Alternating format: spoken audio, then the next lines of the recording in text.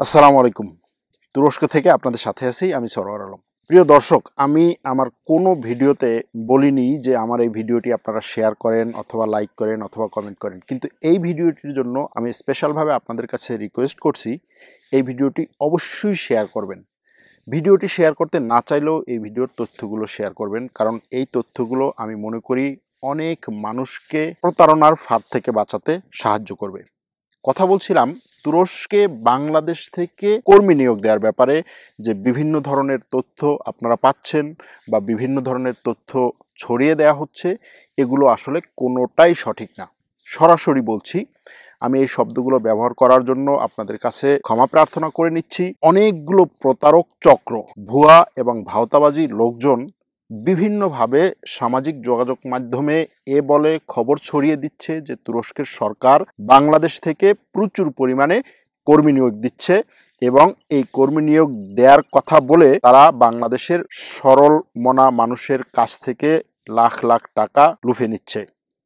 তারা বলছে যে তুরস্ক ভূমিকম্পের পরে যে নতুন করে সেখানে বাড়ি নির্মাণ, বিল্ডিং নির্মাণ কনস্ট্রাকশন করা, রাস্তাঘাট তৈরি করা, এ সমস্ত কাজের যে ব্যাপক একটা প্রকল্প হাতে নিয়েছে, সেই প্রকল্পে বাংলাদেশ থেকে কর্মী নিয়োগ দেবে, এটা তারা বলছে। কিন্তু তুরস্কের সরকারের পক্ষ থেকে এরকম কোনো কথা, বিবৃতি বা এরকম কোনো বক্তব্য আসেনি।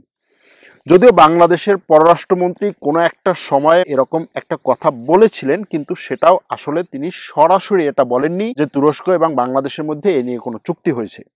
সুতরাং বাংলাদেশ থেকে তুরস্ক কোনো ধরনের কর্মী নিয়োগ দিচ্ছে না। বিশেষ করে এই ভূমিকম্প দুর্গত এলাকায় নতুন করে সেই এলাকাকে ঢেলে সাজানোর জন্য যে পরিকল্পনা, সেই পরিকল্পনায় বাংলাদেশ থেকে কোনো কর্মী তুর্কি নিয়ে আসছে না। যারা এই কথা বলে আপনাদের কাছে তথ্য দিচ্ছে এবং আপনাদেরকে বিভিন্নভাবে ভিসার জন্য অ্যাপ্লাই করার কথা বলছে, তারা পুরোপুরি মিথ্যা কথা বলছে, ভুয়া কথা বলছে এবং আপনাদের সাথে প্রতারণা করার চেষ্টা করছে।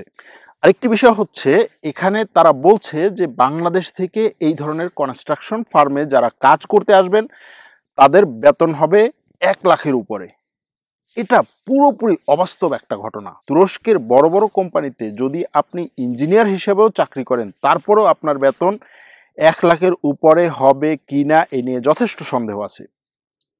আর সেখানে কনস্ট্রাকশন ফার্মে নির্মাণ শিল্পে নির্মাণ কর্মী হিসাবে যদি কেউ আসে, তার বেতন কীভাবে এক লাখ বা এক লাখ তিরিশ হাজার বা তার চেয়েও বেশি হয়? আপনাদের কাছ থেকে প্রচুর পরিমাণে প্রশ্ন এসেছিল এ নিয়ে এবং অনেকেই এই ফাঁদে পা দিয়েছেন ইতিমধ্যে। সুতরাং তাদের জন্য বলছি, মধ্যপ্রাচ্যের বিভিন্ন দেশ যেরকম বাংলাদেশ থেকে কর্মী নিয়ে আসে, ঢালাওভাবে অথবা মালয়েশিয়া যেভাবে কর্মী নেয়, তুরস্ক, সেরকমভাবে কোনো কর্মী বাংলাদেশ থেকে নিয়ে আসছে না। সাধারণ কাজের জন্য কোনো কর্মী আনছে না। হোক সেটা কনস্ট্রাকশন ফার্ম অথবা অন্য কোনো সেক্টর সাধারণ কাজে কোনো কর্মী তুরস্কে আসছে না, অর্থাৎ তুরস্ক নিয়ে আসছে না। আরেকটি বিষয় হচ্ছে, যারা এই প্রতারণা করছে, তারা হয়তোবা কিছু কিছু লোকের ক্ষেত্রে ভিসা বের করছে।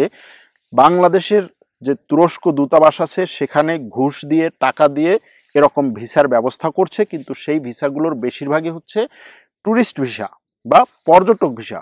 সেই ট্যুরিস্ট ভিসায় তাদেরকে নিয়ে এসে তারপরে এখানে ছেড়ে দেওয়া হচ্ছে এবং তারা এখানে অনেক কষ্টে আছেন।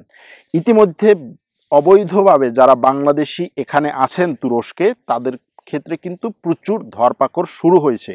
এটা শুধুমাত্র বাংলাদেশিদের ক্ষেত্রেই না, তুরস্কে থাকা সব দেশের অবৈধদের বিরুদ্ধে সরকার চড়াও হচ্ছে এবং এরদোগান সরকার সরাসরি এর বিরুদ্ধে অ্যাকশনে যাচ্ছে, যেটা এর আগে ছিল না। অর্থাৎ আপনি যে কোনো দেশ থেকে অবৈধভাবে এসে তুরস্কে থাকলেও পুলিশ ধরেও আপনাকে ছেড়ে দিত অথবা পুলিশ আপনাকে টাচই করতো না। এরকম একটা অবস্থা ছিল। সেখান থেকে এখন পুরোপুরি অবৈধদেরকে ধরে জেলে পুড়ছে অথবা দেশে পাঠিয়ে দিচ্ছে অথবা অনেককে সিরিয়ায় পাঠিয়ে দিচ্ছে, ইরানে পাঠিয়ে দিচ্ছে, এরকম অবস্থা।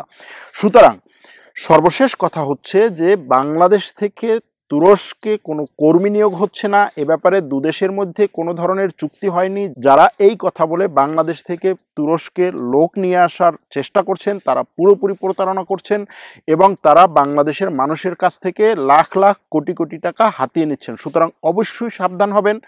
কেউ এ ব্যাপারে কোনো কোম্পানির কাছে টাকা দিবেন না। তবে হ্যাঁ তুরস্কে যারা বাংলাদেশ থেকে আসতে চান, তাদের এক্ষেত্রে অনেক যোগ্যতার দরকার। অর্থাৎ আপনি হয়তো একজন ইঞ্জিনিয়ার অথবা ডাক্তার অথবা মাল্টিন্যাশনাল কোনো কোম্পানিতে আপনার অনেক বছরের অভিজ্ঞতা আছে, তখন এখানের বড় বড় মাল্টিন্যাশনাল কোম্পানিতে ভালো ভালো পোস্টে আসার সম্ভাবনা আছে। এর বাইরে সাধারণভাবে তুর্কিতে কোনো কর্মী নিয়োগের কোনো ব্যবস্থাই নেই। সুতরাং এই ভিডিওতে আমি আপনাদেরকে আবারও সাবধান করে দিচ্ছি। এই ভিডিওটি আপনারা অবশ্যই শেয়ার করবেন এবং এই ভিডিওর তথ্যগুলো আপনারা ছড়িয়ে দিবেন যেন হাজার হাজার মানুষ প্রতারণা থেকে বাঁচতে পারে। ভালো থাকবেন সুস্থ থাকবেন। আল্লাহ হাফেজ।